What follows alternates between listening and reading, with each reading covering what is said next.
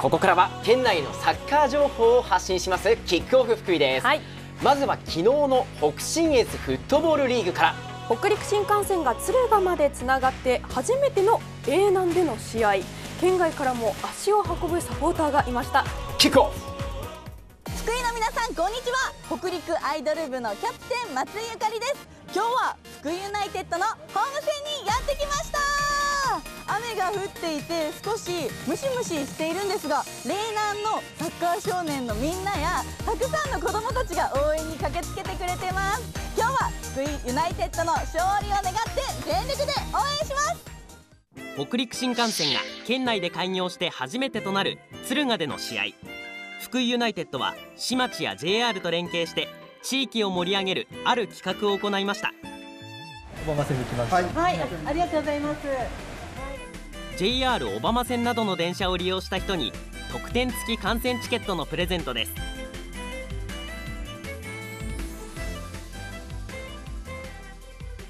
北陸新幹線や特急を利用して訪れた人も。今日はどちらから来られましたか？東京。東重視監督がどんな采配をするか。京おおどんなさいどちらからいらっしゃいましたか？京都から、京都から？はいどうして？あの川端光選手のあの試合を出れるかどうかわかんないんですけど、はい、これもやっぱりきっかけの一つでしたか？あそうですそうです。ずっと来たかったんですけどちょっと来れなくてちょうど今回ここで敦賀で開催なんで京都からは一番来やすいで、はい、県外からのサポーターも駆けつけた敦賀でのホーム戦対戦するのは新潟医療福祉大学 FC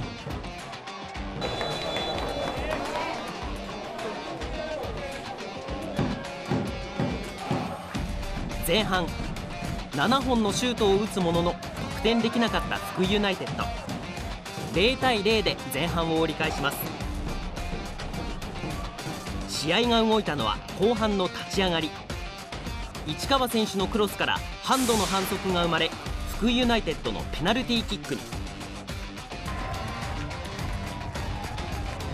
サポーターが祈るように見守る中蹴るのは北川浩平選手。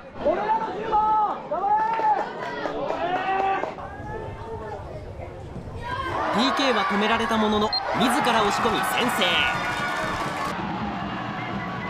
スタンドは待望の1点に沸きます。これで流れを引き寄せた福井ユナイテッド。その3分後には押谷選手からのパスを高貝選手が決め2点目。さらに右サイドの市川選手のクロスを高貝選手が頭で合わせ3点目。相手を引き離します。終了間際には樽谷選手がダメ押しとなる得点を決め試合は4対1次節へ勢いをつける勝利を手にしました。4対1で、えーまず勝利で終われたこと。あのなかなか難しい試合だったんですけどあのそこで終われたことが良かったと思います。全員で試合勝とうっていう気持ちがあった、えーその中であの結果出せたっていうのはすごく良かったと思います。今シーズン初の得点を決めた樽谷選手は？いやー嬉しいですね。あのホームで敦賀でこんだけ雨の中お客さんが最後まで声出してくれたその中で勝利届けれたっていうのはめちゃくちゃ嬉しいですね。簡単な試合になるとは思わないですけどでもこのチームの勢いで今日出れなかった選手が明日からどれぐらいのトレーニングで強度持ってくるのかっていうのも含めて総力戦になると思うんで勢い殺さずにいきたいなと思ってます。来週は北信越リーグ1位のジャパンサッカーカレッジとの頂上決戦です。初めてのね敦賀でのホーム戦ということもありましたがこの大雨を吹き飛ばすような勝利でしたね、はいそうですね。さあ福井ユナイテッドは今週末30日新潟県でジャパンサッカーカレッジとの首位決戦に挑みます。どんな試合になるのか楽しみです。一方長野県でアルティスタ浅間と戦った堺フェニックスは4対1で惜しくも敗れました、はい。次節は石川県で SR 小松と対戦します。引き続き応援していきましょう、はい続いてはさまざまな年代にサッカーの楽しさを伝える女子サッカーのパイオニアチームです。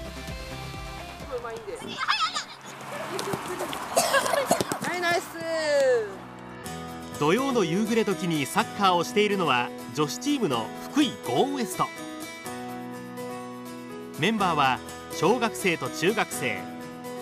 それに高校生以上など合わせて15人です。女性がサッカーを楽しめる場を提供するために2009年に設立されました。部活と掛け持ちしている中学生や高校生の選手もいます。部活は部活でとしてやっててもいいけど外で友達作ると楽しいこともあるしサッカーやってて楽しいことが多いからです。上手い人たちもたくさんいるし年齢関係なく楽しめるのでとてもいいです。高校2年生の高島環奈さんは学校の弓道部に所属しながらサッカーを続けています。パスつながってシュートなるところが楽しいです。栄養管理士になってサッカーしてる人支えれたらいいなっていう。一度はサッカーから離れたものの大学に入学してから再び始めた選手もいます。大学生入って運動することがなくなったんで運動不足になりたくないからサッカーをまたやろうと思いました。女性がプレーできるチームを立ち上げたのが岡崎守さんです。女性がいくつになってもサッカーを楽しめることを願いチームをサポートします。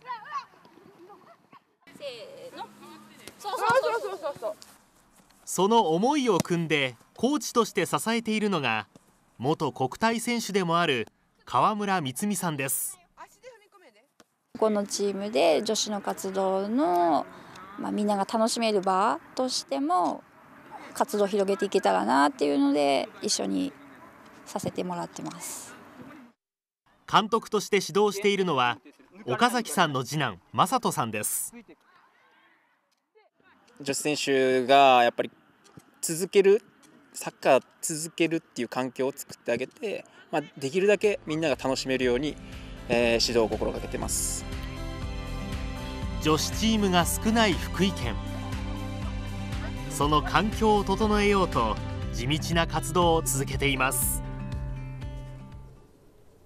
うん、このさまざまな年代の人たちが一緒にプレーしているということはお互いに技術を教え合ったりすることで技術のアップ高め合うことにもつながりそうですよね。そうですね。この皆さんは練習は水曜と土曜の2回土曜は体験会も行っているということですよ。そして最後は今月上旬に行われましたちびっこサッカーにキックオフ。かわいい。今月8日堺市で行われた福井県ちびっこサッカー大会。今年で29回目の大会には県内から68チームが出場しました。試合は1チーム5人。キーパーは置かずみんなでゴールを目指します。30度を超える気温の中子どもたちは暑さに負けず元気よくボールを追いかけていました。大会では試合時間を短くしたり休憩時間を長く取ったりして健康面に注意。参加した子どもたちは青空の下サッカーを楽しんでいました。子どもたちのこう輝く笑顔そしてボールを追いかける姿可愛らしかったですね。そうですね。もう太陽暑い日差しに負けないぐらいの笑顔でしたね、うんはい、元気もらいました。以上キックオフ福井でした